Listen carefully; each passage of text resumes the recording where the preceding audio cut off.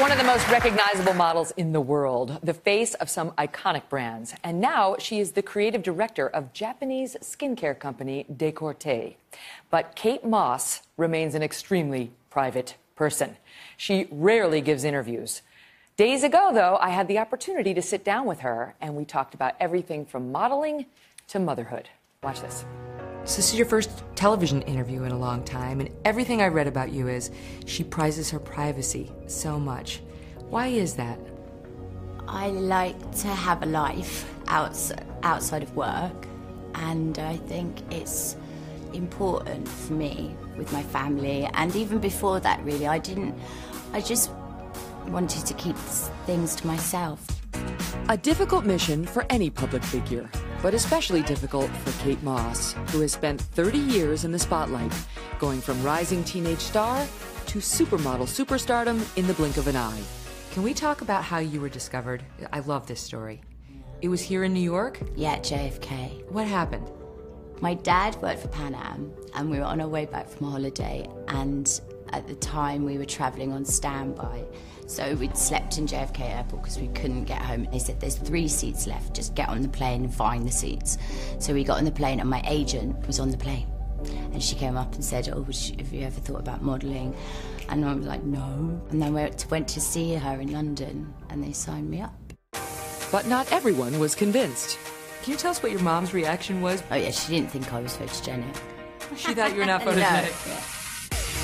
But it wasn't long before Kate proved her mother wrong, becoming the face of Calvin Klein and shooting that now iconic Obsession campaign when she was just 18 with her then boyfriend and photographer, Mario Sorrenti.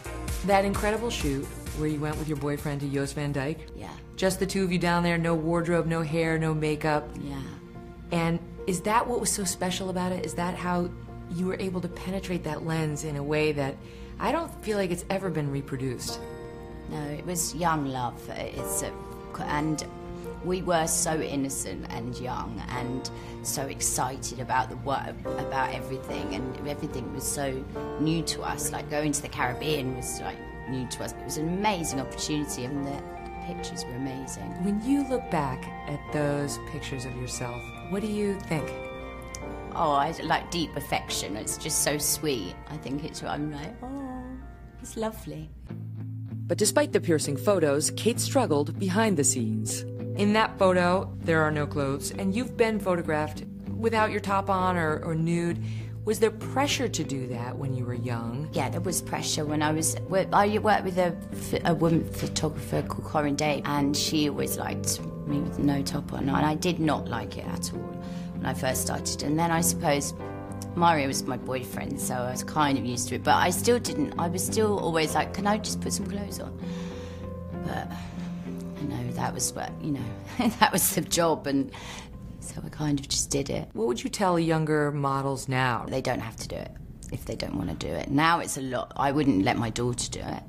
When I think, look at her and now, and she's she's 15, and to think that I was going topless at her age, it's crazy. How do you like being a mom? Oh, I love it. It's the best thing. It's it's my favourite thing. How did it change you as a woman? I just never. I was never lonely again. I was was, was always with had my baby. So Are you close? yeah, really close. There's nothing quite like that love in, in your life. No, it's great. And now we're hanging out like as friends. Because she's getting older, we can go shopping together, and it's really fun. You you do want her in the business or you don't? It's up to her. I'm leaving it up to her. I will support her, obviously, and um, I'll be her manager. Her momager? She- yeah, I'll be her momager, and um, she can, if she wants to, I will support her in, in anything she wants to do. You think it would have been harder coming up now, coming up in today's day and age, given how ubiquitous social media is and the models are? I don't know if it'd been hard. I, I know it was quite. It was more fun when we when we were doing it. I think Why? it was just like freer because everything's on social media. Everyone's watching what they're doing. Whereas before it was like we just do things and it would, you know, it's just freer. I think. So at age 44, Kate Moss is still modeling, but she's also going behind the lens now with her own talent agency And she was just named the creative director of a Japanese skincare company called Decorte. I talked with her about her life now and some of the controversies she's faced along the way. Watch. Body image is something that's in the news. Do you feel like the industry is changing for the better? Definitely. There's so much more diversity now. I think it's just, it's right. There's nobody. There's so many different sizes and colours and t- heights. Why would you just be one size model and being represented for all of these people? So yeah, for sure, it's better. Do you think that the modeling world is still too focused on weight? No, I don't think it's focusing on, on. I don't know if it's focused on weight. I think for the designers, they just want tiny girls. You once got in trouble. You said something like, Oh God. "Nothing tastes as good as I skinny know. feels."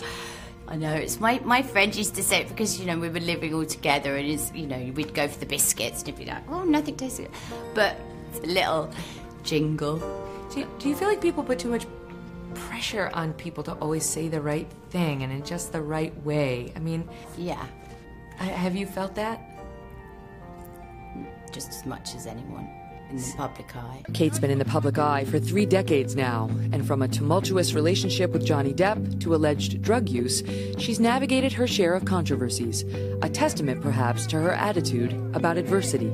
Somebody told me that your philosophy was never complain, Yeah, never explain. never complain, never explain. Yeah, What does that mean to you? just get on with it. It's like what can you you can't do anything about what people think of you or what what if they lie or if they if it's not true what they say or just get it. It doesn't matter because if you know who you are, then it's then you can get through. It's very British of you. Is it? I think so. Stiff upper lip. How do you keep reinventing yourself? Because it seems like you continue to take on new challenges. It, you could easily sit growing, back and like- rest on your laurels, but you don't. No, I don't rest. I'm I like working and I like challenge and I like um, and I just want to evolve. Okay, so let's talk about your latest adventure. Not only did you launch your own talent agency, but now you're the creative director of Decorte. Yeah. Decorte is a skincare line that I've worked with for three years now. And um, they asked me to be creative director, so.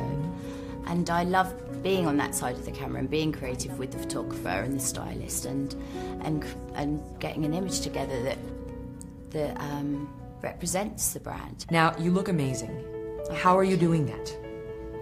Sleep now. I'm a good girl. I go to bed. I drink lots of water. I'm not too much coffee. I'm trying to cut down on cigarettes. I'm trying to take. I take care of myself now. You get like eight hours of sleep? How much sleep we're Yeah. I would say I try to get eight hours. And so, is it? Do you have like the one beauty product that people need to know, like from a drugstore, if they want to, if they want to go into the local drugstore? Oh, like mascara, I'd say. Mascara. Yeah, drugstore drugstore mascara is really good. So, what's the next phase of life look like for you? Um, I'm I'm going to be working in the agency more, I think, and but still modelling. I'm still working, so I'm and I enjoy it, and I, and uh, yeah, just travelling and doing the same and taking watching Lila what she's going to do. Is there one takeaway? You know, when you're looking at Lila, she's going through a tough time. Want her to know that you wish you'd known? tomorrow's another day. Everything passes. It's like you can be a terrible and think it's never good. It's the end of the world, but everything passes. Mm-hmm. I think that's important to remember.